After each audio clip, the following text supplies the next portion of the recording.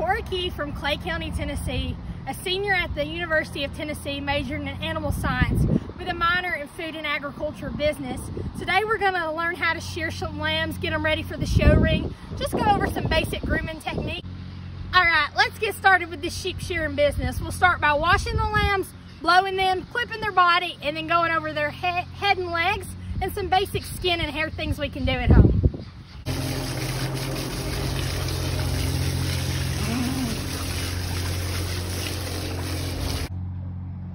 Just got from the back from the ewe lamb, and I just got done drying her. When you're drying your lamb to get ready to shear it, you kind of want to go in a circular motion, and you want to make sure they're good and dry because a damp lamb, your blades are going to get tangled up and stuck in it, and that makes the process. With a lamb like this with really thick wool, it's going to take upwards of 15 minutes to get them completely dry all over as we get started shearing our lamb, you know, it's very important the type of clippers and blade that you have. If it's your first year in the project, you might not want to go out and buy an expensive set like the Premier I have here. The blades you want to use to shear your show lambs are typically fines. We do see variations. But with market lambs and commercial use type sheep or the breeds that get slicks like Hampshire, Suffolk, different things, these are the blades to get that nice clean cut. Fines are what I recommend, but there is variations used. When you are clipping, it is super important to put clipper oil on your blades. This is what is preventing your blades from dulling and just getting stuck and tangled. So when you're putting oil on it, you wanna go down the top of the blade and inside the motor. And you can't oil them too much. Every two to three minutes, go ahead and take the time to oil them. It'll really save you money and hard work in the long run.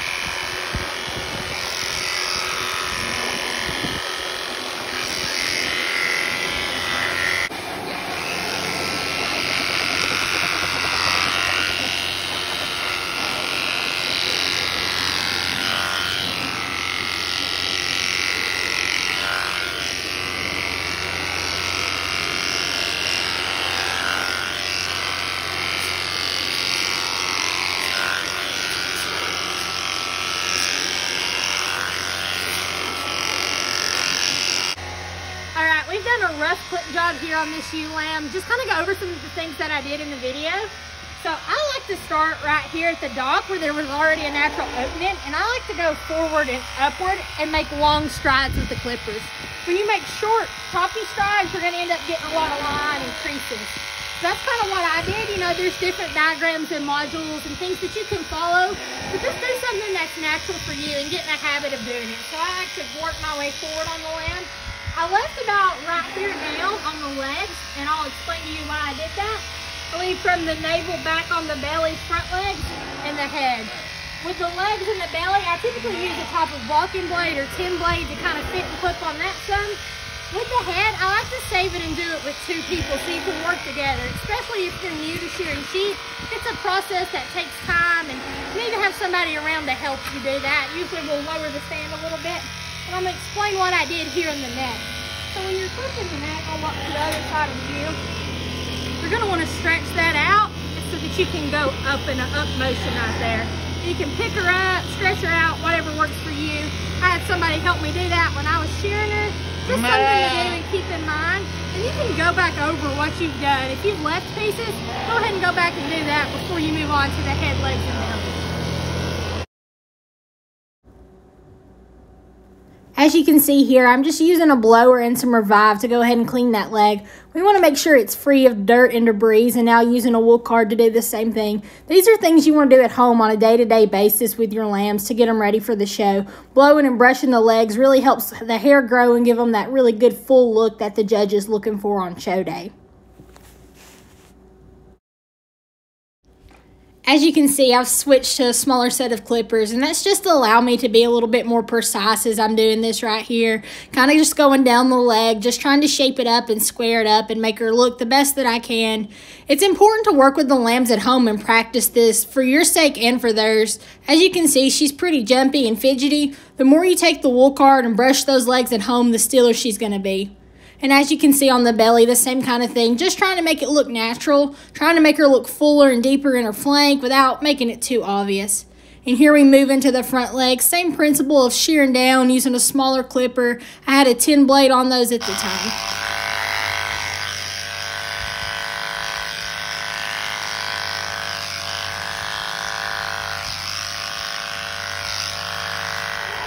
We just finished clipping this means am I saying this is the best product on the market. There's a wide variety through Sullivan's, Weaver, and several other, and different people have different preferences. This is just what I had available this morning. But after you get done clipping these lambs, you're gonna wanna put something light on them just to freshen the hide up, because when you're taking the wool off, you're removing the natural grease and lanolin that the sheep has. And we're gonna need to replace that with something to keep that hide fresh and the way we want it for, for show lambs anyways, and even at home with sheep that you're clipping out, just to prevent their skin from getting dry and breaking, definitely want to put some kind of conditioner on them. Besides Revive that I just sprayed, something I like to do is mix mane and tail conditioner with water. I do this 16 ounce bottle to a gallon of water in a pump up sprayer and spray them head to toe the week before the show, two or three times a day, just to get the hide where I like it when a judge gets the handle on that lamb to get him what he's filled. As far as our head for the market lamb and commercial use, I've completely slicked her all over. For different breeds, we're looking for different things. For South Downs, we leave a diagonal from the eye there and leave a circle around the ears. With Hampshire and Shropshire sheep, we're gonna leave a top knot on top. But as I said, this is a crossbred ewe right here, Hampshire influence. Those we're gonna go ahead and slick off like I did her and get everything off the head. As far as the legs, you can see where I fitted in. By no means are they show ring ready, but you just kind of want to blend it in and make it look natural. You're going to want to square them up. When you're clipping the back legs of your lamb, there's things you want to pay attention to, like the set and angle to their hock. If they're pretty sickle hocked and up under themselves, just try to square them up. I mean, it's not something you can fix, but clipping can make a difference in how you fit it and how you do your lines. You know, I didn't get her the best job done today, but just kind of something you want to go over and talk about. Just try to make them look natural and fluffy and do the best that you can do. If it's your first time showing, come find me, find an extension agent. Somebody will be at the show to help you. And talk to the breeder that you purchased your lamb from or leased to you from and ask them what to do. We trim the hoofs of our lambs to prevent things like foot rot. This needs to be done about a week out from the show because done on the day of may cause limping if you get it in a quick or too short. This is a management practice, once again, to help prevent diseases like foot rot, something you definitely need to be doing with your lambs pretty frequently. Here we are with the finished product. Some tips to keep in mind is you, a lot of kids when they first start clipping a lamb, they're worried that they're going to cut them. And with those fine blades that we started with, cutting them is not rare and you don't have to clip them the day of the show. You can do it a couple days out to give it time to grow back and look natural. A part of grooming that people often forget is to go ahead and trim their hoofs. You can do that on the stand or it's a lot easier to cast them over on their back while you have their feet up in the air and go ahead and trim their hoofs. I trimmed her hoofs today. She's not exactly show ready, but, but she looks pretty good and decent and got her wool off. If you have young lambs at home and they've got still got their lamb wool and have never been sheared, right now it's May, probably a good time to go ahead and do that as we prepare for upcoming regional and state expos. Hope you learned something today. Have fun. If you have questions, please don't feel hesitant to reach out to me. Thank you.